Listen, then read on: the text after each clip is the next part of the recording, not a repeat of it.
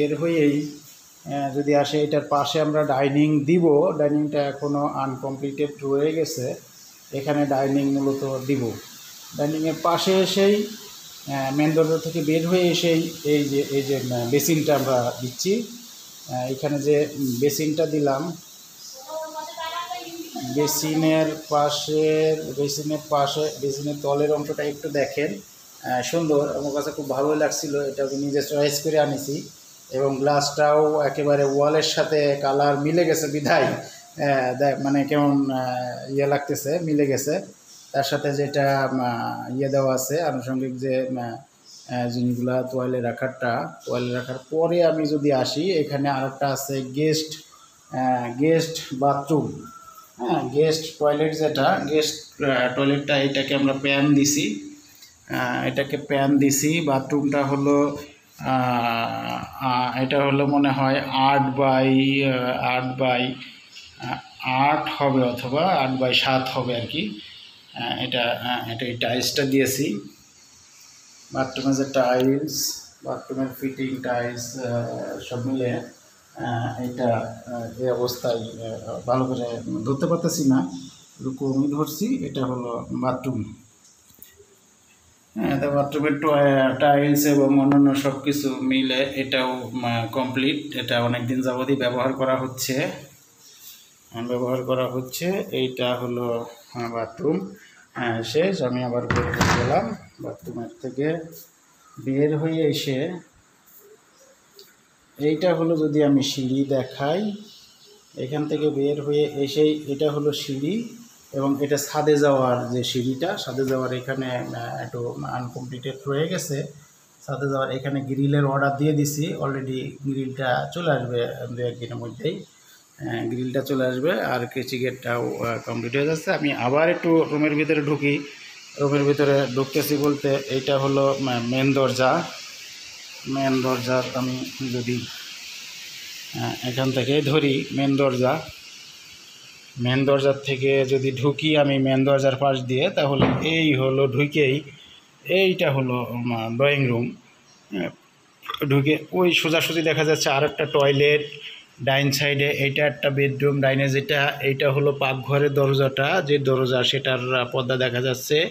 ওইটা হলো দ্বিতীয় বেডরুমের দরজার পর্দা পর্দা দেখা যাচ্ছে।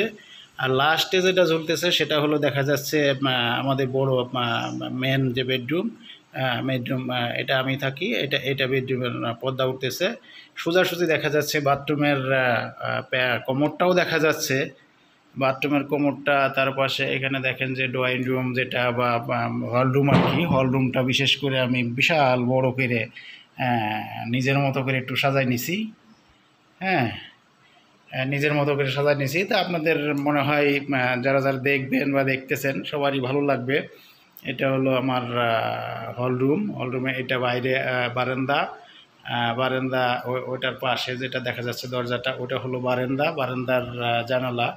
ওটা এসএস এর জানালাগুলো দেওয়া হয়েছে এবং এসএস এর জানালার সাথে বাইরের যে গ্লাসটা, সংযুক্তি গ্লাস, শোকেস টোকেস, মোটামুটি আমার হাফ সংসারের হাফ মালপত্র আমার এখানেই আছে। বাকিটা ঢাকায় এবং ইয়েতে আছে। এখন হাফ মাল দিয়ে যতটুকু এটা সাজানো হয়েছে, এটা এই এই যেটা দেখতেছেন, এটা এই পর্যায় এই পর্যায় সে আর কি। এখান থেকে যদি আমি ঢুকি, তাহলে এই যে যখন এই দরজাটি আমি ঢুকতেছিলাম এই এই একটা বেডরুম, যেটা এই ফাঁক দিয়ে আমি এই একটা বেডরুম দেখাচ্ছি, এটা থেকে বের হয়ে গেলাম, বের হয়ে যায় কই এই সোজাসুজি যে তিনটা ইসের আমি এখান থেকে দেখালাম। এটার আর একটা বেডরুমের যে দরজা সেটা হলো এই যে এই- এই বেডরুমের। এটা হলো আমাদের আর একটা বেডরুমের বিষয়টা। এখানে এই বেডরুমে আমি থাকি। হ্যাঁ, এই বেডরুমে আমি থাকি।